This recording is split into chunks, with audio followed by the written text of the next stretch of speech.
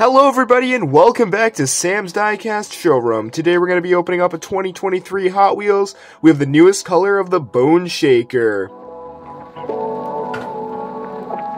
This is a classic casting that Hot Wheels has been making and this has uh, been released since 2006. And this is one of the most popular models that Hot Wheels has ever created. And in the new 2023 main line, we see this one in black with these beautiful white wall five spoke wheels with Team Hot Wheels on the side. Very cool. From Hot Wheels Dream Garage, number three of five. And number 60 of 250 for 2023. This is an awesome new release of the Bone Shaker. This is from, I think this is from C-Case. And there's the back there.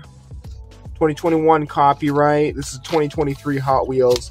Get it open. Add it to my collection of bone shakers. This is really awesome. Look at this thing. And we have nice spinning wheels on this. Well, they spin very nicely spinning. The rear wheels spin really smooth. And check that out. Nice double white walls on those five spoke wheels a chrome interior with those chrome pipes sticking out. There's the skull in the front, of course. There is the what makes it the bone shaker, kind of a hot rod design.